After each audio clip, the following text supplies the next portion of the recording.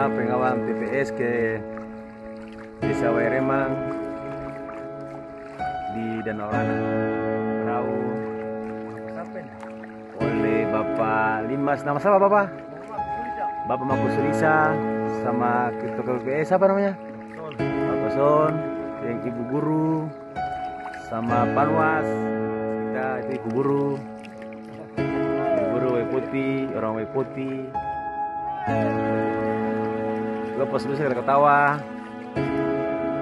Semoga para komandan, para senior diyakini perjalanan kita untuk mewakili pengawalan apa kotak suara ke Desa Wairemang, Danau Rana.